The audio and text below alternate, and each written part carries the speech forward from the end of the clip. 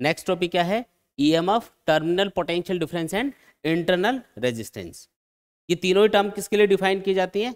किसी सेल या बैटरी के लिए डिफाइन की जाती है। जैसे मान लो कि ये कोई सेल है, ठीक है? तो इसके लिए ईएमएफ का मीनिंग क्या है? टर्मिनल पोटेंशियल डिफरेंस का मीनिंग क्या है? और इंटरनल रेजिस्टेंस का मीनिंग क्या है? ये समझते हैं। मान लो कि ये जो सेल है मार्केट से आप एक सेल लेके आए और एक वोल्ट मीटर लगा के, इसके क्रॉस क्या लगा दिया हमने? एक वोल्ट मीटर लगा दिया और वोल्ट मीटर की रीडिंग देख रहे हो आप। ये वोल्ट मीटर लगा हुआ है यहाँ पे। कौन लगा हुआ है ये?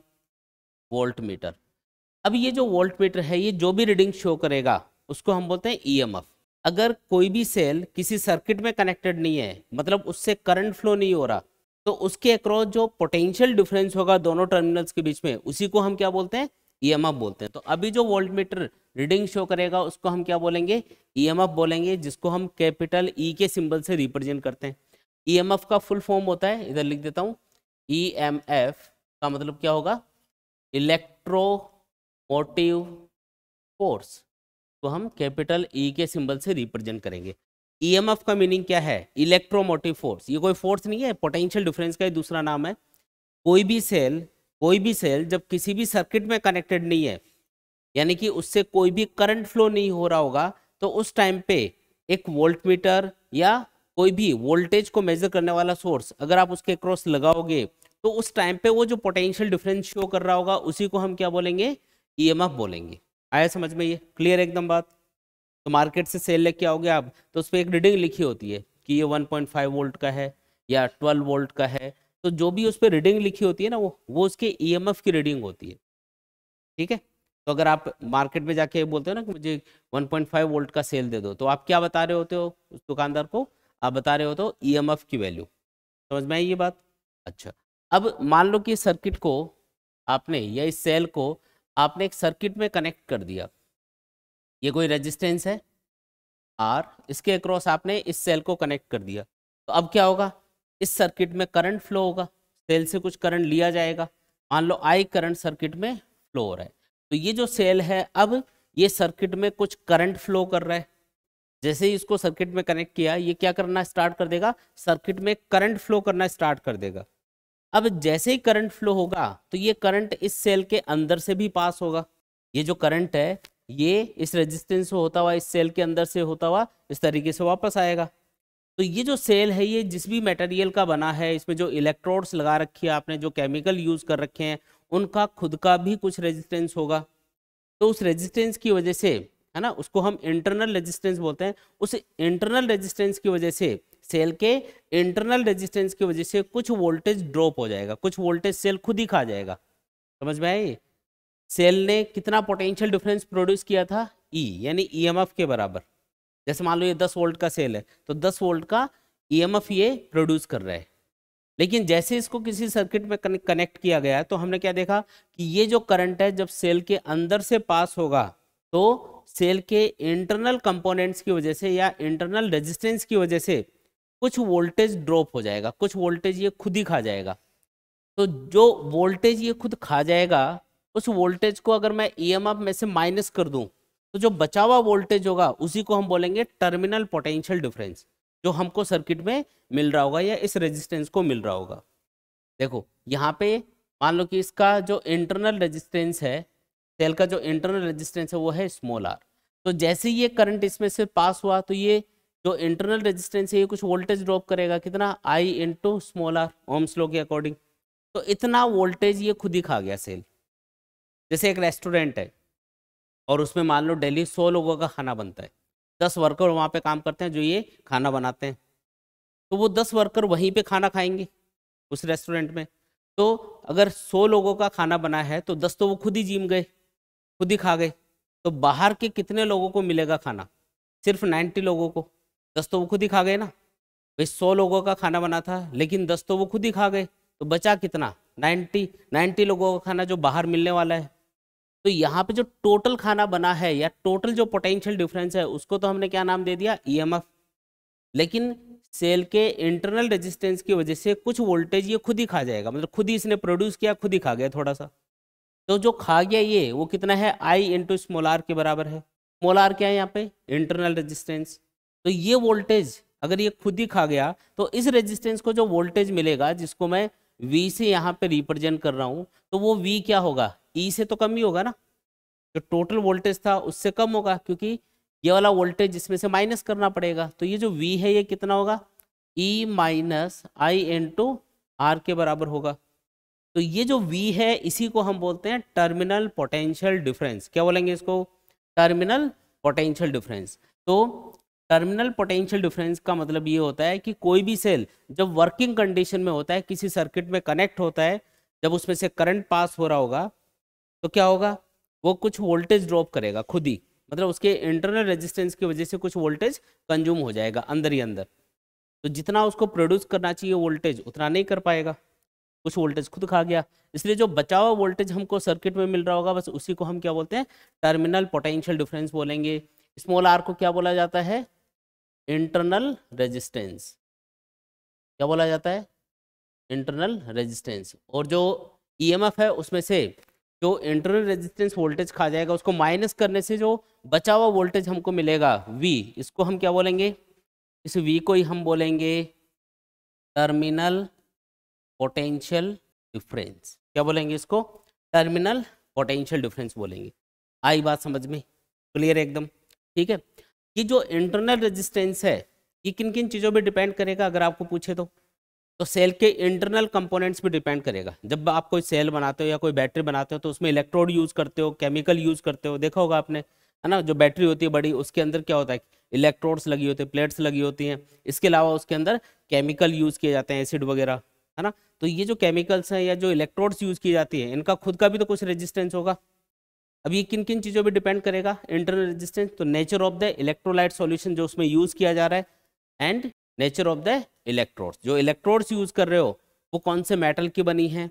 जो इलेक्ट्रोलाइट सॉल्यूशन या जो एसिड वगैरह जो आप यूज़ कर रहे हो ना, उनका नेचर क्या है? उनका रेजिस्टेंस उसके अकॉर्डिंग डिसाइड होगा। तो एक चीज़ तो किस पे डिपेंड करेगा इंटरनल रेजिस्टेंस कि कौन सी इलेक्ट्रोड कौन से मटेरियल यूज़ किया गया इलेक्ट्रोड्स के लिए और कौन सा इलेक्ट्रोलाइट सॉल्यूशन यूज़ किया गया है, उसके ऊपर डिपेंड करेगा। फिर दूसरी बात, जो इलेक्ट्रोड्स है, उनको कितना दूर दूर रखा गया है सॉल्यूशन के अंदर। जैसे कि सिंपल एग्जांपल देता हूँ, मान लो कि ये कोई कंटेनर है, जिसमें आपने कुछ एसिड भरा हुआ है, जिसको हम इलेक्ट्रोलाइट सॉल्यूशन भी बोल सकते हैं यहाँ पे, और इसके अंदर दो इलेक्ट्रोड्स आपने डाल रखी है। क्या डाल रखी है? इसके अंदर दो इलेक्ट्रोड्स, एक इलेक्ट्रोड ये है, ठीक है? और दूसरी इलेक्ट्रोड ये है, सपोज़। तो इसके अंदर ये क्या है? ये हो गई हमारी दो इलेक्ट्रोड्स अब जैसे ही आप इसको सर्किट में कनेक्ट करोगे मतलब कि ये अपना सेल है सपोज़ करो तो इसको आपने किसी रेजिस्टेंस से कनेक्ट कर दिया। ये कोई रेजिस्टेंस है, इससे आपने दोनों इलेक्ट्रोड्स को कनेक्ट कर दिया। तो यहाँ पे एक पॉजिटिव इलेक्ट्रोड होती है, एक नेगेटिव इलेक्ट्रोड होती है सेल के अंदर। तो ये जो इलेक्ट्रोड है, ये क्या करेगी? इलेक्ट्रॉन्स को अपनी तरफ़ खींचेगी तो इलेक्ट्रॉन इसकी तरफ़ आएँगे। जैसे इलेक्ट्रॉन इस वायर के अंदर से इस पॉजिटिव टर्मिनल में घुसेंगे तो ये वाली जो इलेक्ट्रोड है, इससे कुछ इलेक्ट्रॉन खींच लिए जाएँगे वायर के अंदर।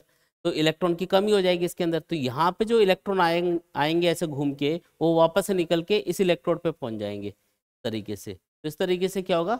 सिंपल वे में बता रहा हूँ, किस तरीके से इलेक्ट्रॉन आएँगे, फिर इसमें से होते हुए वापस, और इस तरीके से एक करंट सर्किट के अंदर फ्लो हो रहा होगा। तो ये जो इलेक्ट्रॉन है, जब ये इस, इन इलेक्ट्रोड्स के अंदर से पास होंगे, इस इलेक्ट्रोलाइट सॉल्यूशन से पास होंगे तो इनको कुछ रेजिस्टेंस भी मिलेगा। बस उसी को हम क्या बोल रहे हैं? इंटरनल रेजिस्टेंस बोल रहे हैं। तो इंटरनल रेजिस्टेंस किन किन चीज़ों पे डिपेंड करेगा? एक तो इलेक्ट्रोलाइट सॉल्यूशन और इन इलेक्ट्रोड्स के नेचर पे डिपेंड करेगा। दूसरा, इनके बीच में डिस्टेंस पे भी डिपेंड करेगा। अगर आप इन दोनों इलेक्ट्रोड्स को दूर दूर रखोगे तो इलेक्ट्रॉन को ज़्यादा डिस्टेंस ट्रेवल करके आना पड़ेगा एक इलेक्ट्रोड से दूसरे इलेक्ट्रोड पे पहुँचने के लिए तो उनको ज़्यादा रेजिस्टेंस मिलेगा। तो इलेक्ट्रोड्स को दूर दूर रखने पे रेजिस्टेंस बढ़ जाएगा पास पास रखोगे तो रेजिस्टेंस कम रहेगा। ठीक है? दूसरी बात, प्लेट्स का एरिया कितना है? ये जो प्लेट्स हैं इनका एरिया जितना ज़्यादा होगा, उतना ईजिली इलेक्ट्रॉन एक इलेक्ट्रोड से निकलेंगे, दूसरे पे पहुँच जाएँगे। अगर आपने इनका एरिया कम रखा सरफेस एरिया कम होगा तो इलेक्ट्रोड को निकलने के लिए सरफेस एरिया कम मिलेगा। भाई, ये जैसे पतली सी रोड डाल दी आपने, एक इलेक्ट्रोड ये है, दूसरी इलेक्ट्रोड भी ऐसी पतली सी है तो इसका सरफेस एरिया कम होगा। तो इसमें से इलेक्ट्रॉन को बाहर निकलने के लिए जो एरिया है वो कम मिल रहा है, लेकिन इसकी जगह अगर आप पूरी प्लेट यूज़ करते तो उसका एरिया देखो कितना ज़्यादा होता तो ईजिली इलेक्ट्रॉन निकल पाते हर जगह से। और दूसरी प्लेट पे पहुँच पाते। तो इन इलेक्ट्रोड्स का एरिया कितना है, उसके ऊपर भी इंटरनल रेजिस्टेंस डिपेंड करेगा। तो किन किन चीज़ों पे इंटरनल रेजिस्टेंस डिपेंड करता है बताओ? तीन चीज़ें बताई। Nature of the electrolyte and electrodes दूसरी चीज़ डिस्टेंस बिटवीन द इलेक्ट्रोड्स तीसरी चीज़ क्या है? एरिया ऑफ़ द इलेक्ट्रोड्स इन तीन चीज़ों के ऊपर इंटरनल रेजिस्टेंस डिपेंड करेगा। क्लियर एकदम?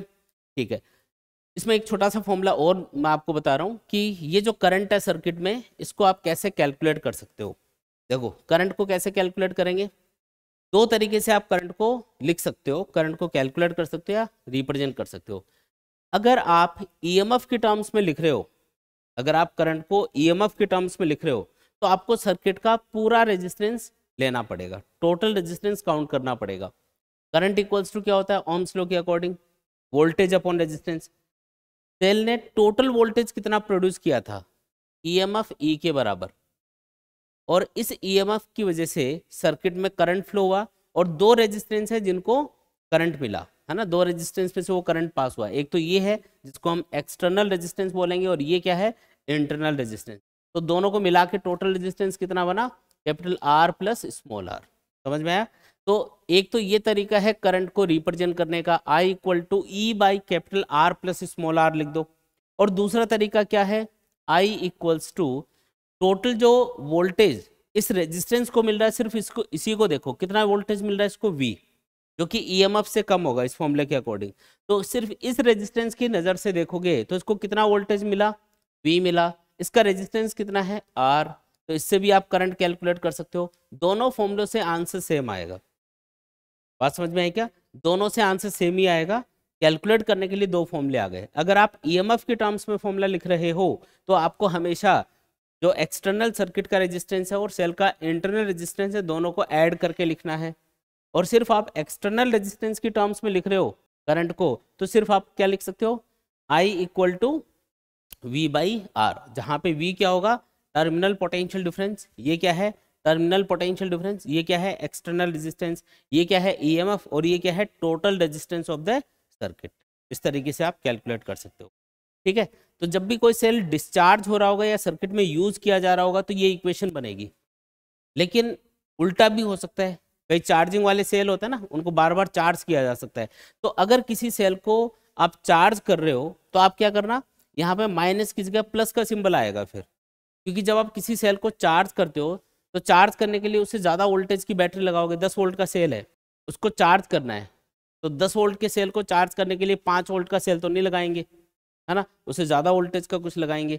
तो इस बार in in the charging of a cell. तो अगर आप किसी सेल को चार्ज कर रहे हो तो आपने कुछ वोल्टेज सोर्स उसके क्रॉस लगा रखा होगा और उस कंडीशन में जो टर्मिनल पोटेंशियल डिफरेंस होगा, वो बराबर होगा E plus I into R, तब ये इक्वेशन बनेगी। तो अगर बोले कि चार्ज किया जा रहा है सेल को, तब आपको ये रिलेशन लिखना है। यहाँ पे वी वो वोल्टेज होगा जो आप अप्लाई कर रहे हो सेल के क्रॉस जो लगा रहे हो, जिससे उसको चार्ज किया जा रहा है। ई एम एफ़ ई से रिप्रेजेंट किया जा रहा है सेल का। आई मतलब करंट है आर मतलब इंटरनल रेजिस्टेंस पर ये वी कौन सा वोल्टेज है? एक्सटर्नल वोल्टेज जो आप लगा के उस सेल को चार्ज करोगे। तो ये इक्वेशन बनेगी। ये कब लगानी है इक्वेशन? जब सेल को चार्ज किया जाएगा। नॉर्मल कंडीशन में अगर कुछ नहीं बोला गया हो तो इसका मतलब ये वाली कंडीशन ही है। सेल को हम एनर्जी सप्लाई करने के लिए यूज़ करते हैं सर्किट में, यानी कि वो डिस्चार्ज हो रहा होता है तो ये वाली इक्वेशन लगेगी। और स्पेशली बोल दे कि चार्जिंग वाला केस है तो ये इक्वेशन लगा देना। क्लियर है एकदम बात? हाँ। इसके बाद में एक छोटा सा टॉपिक है सेल से रिलेटेड ही है। Internal resistance in terms of E V and R जो ई e है यानी कि एफ़ है। वी मतलब टर्मिनल पोटेंशियल डिफरेंस और आर का मतलब क्या है? कैपिटल आर का मतलब है एक्सटर्नल रेजिस्टेंस इनके टर्म्स में आपको किसी भी सेल के इंटरनल रेजिस्टेंस को रिप्रेजेंट करना है। ठीक है? तो कैसे रिप्रेजेंट करेंगे? तो मैं एक सेल एज्यूम कर लेता हूँ। सपोज़ करो ये अपना सेल है और ये है इसका इंटरनल रेजिस्टेंस देखो ये पूरा यहाँ से लेके यहाँ तक ये सेल को ही मैंने रिप्रेजेंट किया है। ये है इसका ई एफ़ ई और ये है इसका इंटरनल रेजिस्टेंस मोलर ठीक है? सर्किट में हम ये वाला सिंबल यूज़ करेंगे सेल के लिए, ठीक है? अब ये जो सेल है, इसको आपने एक रेजिस्टेंस कैपिटल आर के क्रॉस कनेक्ट किया हुआ है। किसके क्रॉस कनेक्ट कर दिया? एक रेजिस्टेंस आर के क्रॉस कनेक्ट कर दिया, जिससे सर्किट में करंट फ्लो होगा। उस करंट को मैं आई नाम दे देता हूँ। तो इस तरीके से सर्किट में आई करंट फ्लो हो रहा होगा, ठीक है? तो ये वाली सिचुएशन है। हमको ये पता करना है कि जो सेल का इंटरनल रेजिस्टेंस है स्मॉल आर वो कितना होगा? तो ये जो रेजिस्टेंस वोल्टेज कंज्यूम कर रहा होता है, उसको हम वी बोलते हैं, है ना? ये जो रेजिस्टेंस वोल्टेज खा रहा होगा, उसको हम क्या बोलेंगे? वी टोटल जो वोल्टेज प्रोड्यूस होगा, उसको हम क्या बोलते हैं? ई एम एफ़ ई बोलते हैं। तो यहाँ पे मैं ऐसा लिख सकता हूँ कि यहाँ पे ये जो करंट है सर्किट में, वो बराबर होगा। आई इक्वल टू क्या होगा? बोलो E upon capital R plus small R किसी भी इलेक्ट्रिकल सर्किट में अगर आपको करंट कैलकुलेट करना है तो आप ये फॉर्मूला यूज़ कर सकते हो। इसके अलावा एक फॉर्मूला और है, करंट को कैलकुलेट करने का एक फॉर्मूला और है इसी सर्किट के अंदर। ये जो रेजिस्टेंस है, ये कितना वोल्टेज कंज्यूम कर रहा है? वी और रेजिस्टेंस कितना है इसका? आर तो I equal to V by R भी आप लिख सकते हो। दोनों बातें समझ में आ गई? तो चाहे इससे करंट कैलकुलेट करो या इससे कैलकुलेट करो, एक ही बात है।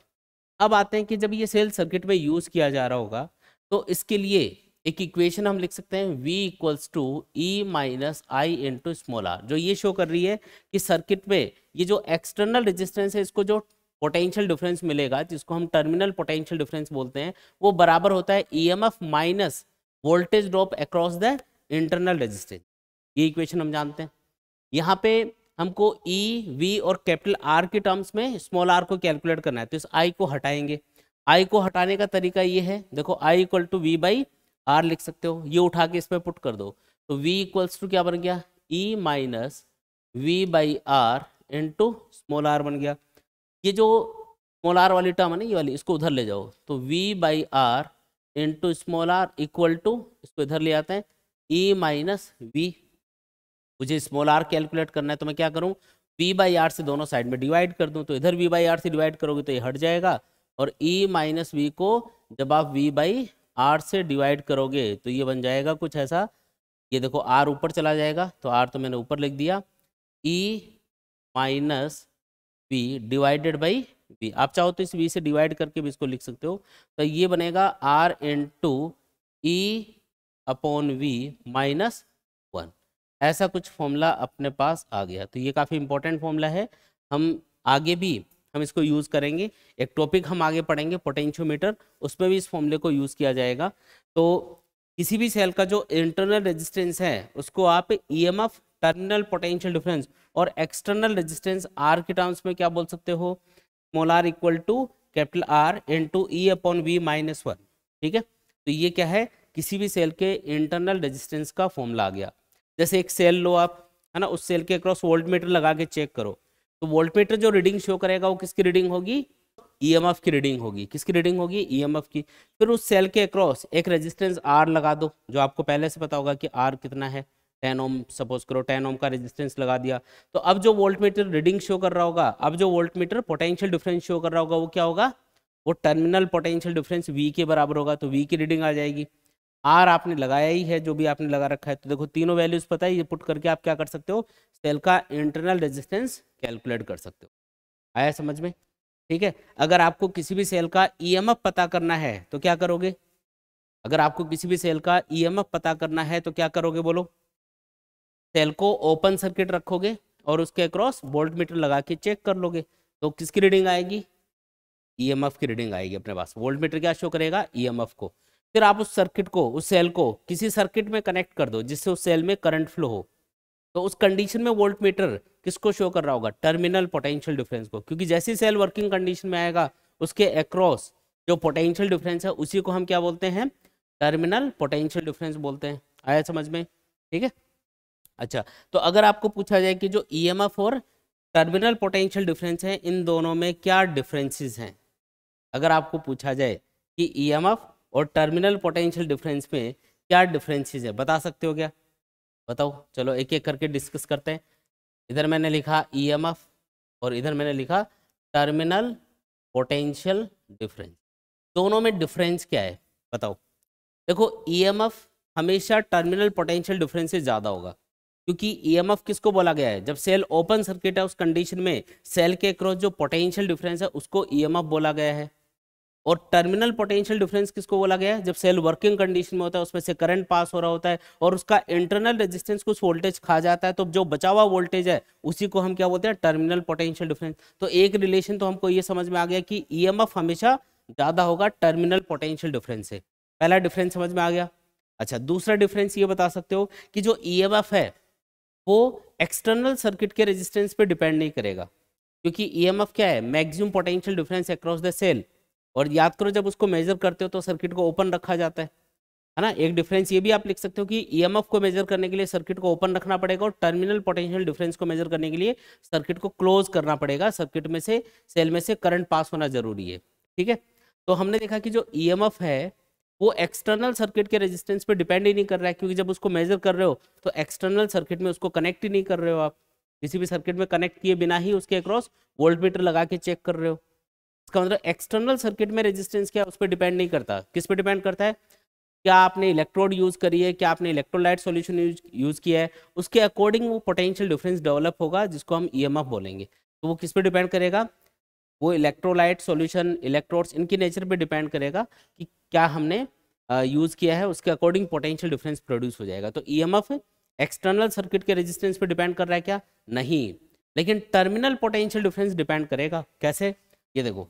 फॉर्मूला क्या होता है? टर्मिनल पोटेंशियल डिफरेंस का V equals to E minus I into small R यही होता है क्या फॉर्मूला? अब आप खुद बताओ कि ये जो फॉर्मूला है, इसके अंदर ये क्या चीज़ है? I current current in the circuit और करंट किस पे डिपेंड करेगा? एक्सटर्नल सर्किट के रेजिस्टेंस पे डिपेंड करेगा। अगर आपने किसी भी सेल को, ये मान लो कोई सेल है जिसका ये कुछ इंटरनल रेजिस्टेंस है, इसको आपने किसी रेजिस्टेंस आर के अक्रॉस कनेक्ट कर दिया। तो आप खुद बताओ अब आप ये देख सकते हो कि ये जो टर्मिनल पोटेंशियल डिफरेंस है, ये इस करंट पे डिपेंड करेगा। सर्किट में करंट इस एक्सटर्नल रेजिस्टेंस पे डिपेंड करेगा। अगर मैं इस रेजिस्टेंस आर को बढ़ा दूँगा, अगर मैं इस रेजिस्टेंस आर को बढ़ा दूँगा तो सोचो क्या होगा? सर्किट में करंट क्या हो जाएगा? कम। अगर सर्किट में करंट कम होगा तो ई e में से माइनस होने वाली जो वैल्यू है वो कम हो जाएगी। तो वी की वैल्यू बढ़ जाएगी, है ना? वी की वैल्यू क्या आएगी? ज़्यादा। तो आपने क्या नोटिस किया? कि जैसे ही मैंने सर्किट का रेजिस्टेंस बढ़ाया, इससे सर्किट में फ्लो होने वाला करंट कम हो गया। करंट कम हो गया तो ये वैल्यू आई इंटू आर ये कम हो गई। तो ई e में से माइनस होने वाली वैल्यू अगर कम हो रही है तो ये डिफरेंस ज़्यादा आएगा मतलब वी की वैल्यू ज़्यादा आएगी। समझ में आई ये? तो क्या V की वैल्यू एक्सटर्नल सर्किट के रेजिस्टेंस पे डिपेंड कर रही है क्या? डिपेंड कर रही है। देखो R के बढ़ते ही V इंक्रीज हो गया। बढ़ गया ना?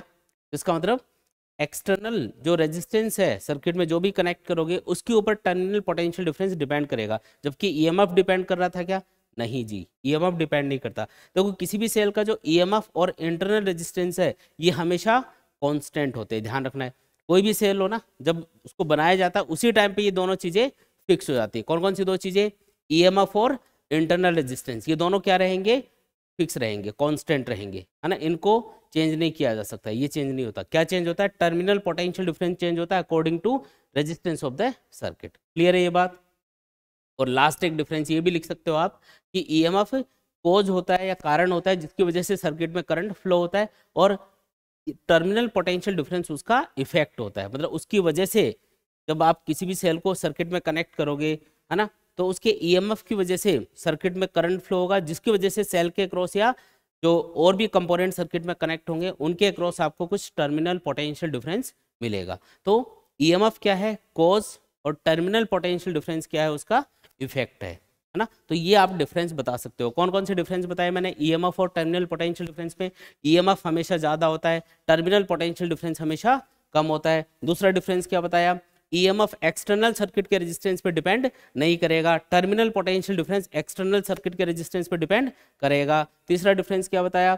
कि ईएमएफ की जो वैल्यू है है ना, जब सेल बनाते हैं उसी टाइम पे फिक्स हो जाती है, उसके बाद में चेंज नहीं होती, जबकि terminal potential difference external circuit के रेजिस्टेंस के अकॉर्डिंग चेंज होता रहता है। ये बता सकते हो।